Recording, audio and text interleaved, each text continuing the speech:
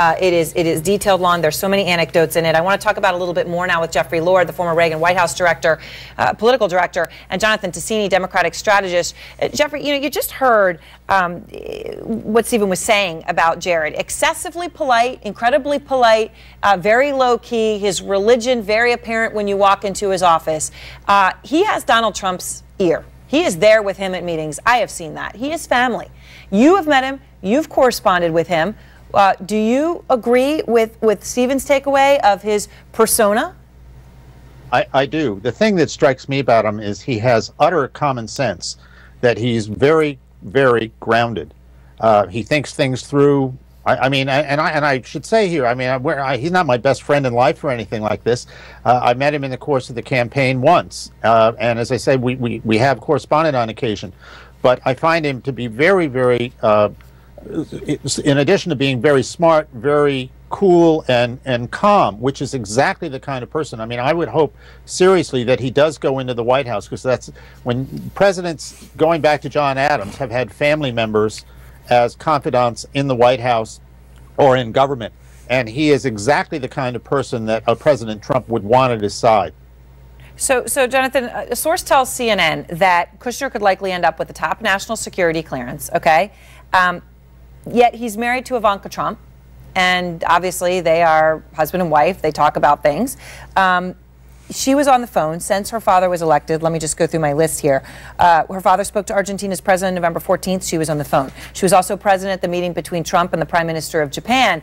Um, this is pretty incredible. Is this okay? You have her with this uh, now intimate relationship, even though she's supposed to run the business, intimate relationship with all these calls.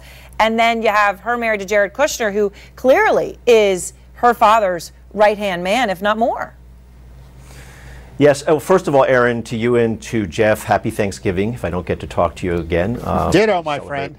Okay, my friend, you too. Before I now say terrible things about your candidate, um, look.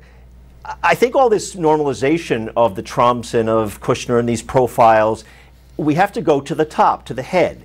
And when Donald Trump came into Washington and said he was going to drain the swamp, there's a major problem with that, is that Donald Trump is the swamp. And if you look at both his entanglements in business and the way he's conducted himself to date, and I'll give just two quick examples. Trump University, which was a scam and a fraud, and he was paid a $25 million fine, as you know, just a few days ago. And thousands of people who he stiffed and he, st he essentially did not pay them. He basically was a con man. And so we then ask, how is he going to behave in the Oval Office? And it's hard to believe and not credible to think that all of a sudden this man who has been a fraud and a con man is all of a sudden going to come into the Oval Office and not try to take advantage, making deals with heads of state, as we're worried about, using his family ties, so his children. This is the thing that we should be concerned about. Frankly, Repu- so does, the Republican Party should be concerned does about. Does Jared make this Erin. this this concern about the family involvement and whether it's appropriate better or worse? Are you asking me well, or Jeff? I think it's, to I, Jeff. I, okay. okay. Yeah, I, I think it's better. I mean, first of all, the things that John has just talked about have been litigated by the American people. I mean, that's over. It's decided Donald Trump is going to be the president of the United States. I'm not disputing but I have that, to tell you, I had my own column. I had my own column today at the American Spectator about the importance of Jared Kushner, and as I say, I went through all of American history.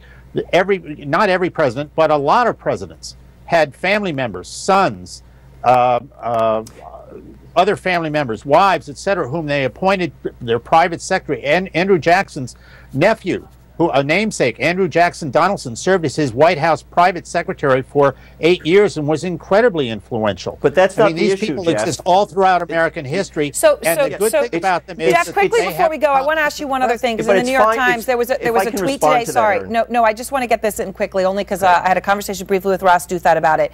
Trump relying on Jared Kushner to the point that today to the New York Times he said Jared Kushner could help make peace between the Israelis and Palestinians. Jeff Ross said he was not kidding when he said that. Uh, it might have been a bit of hyperbole, but he was not kidding.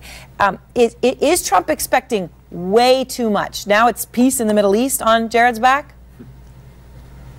Well, no. I, I, I think what he's doing is assessing his son-in-law's uh, abilities.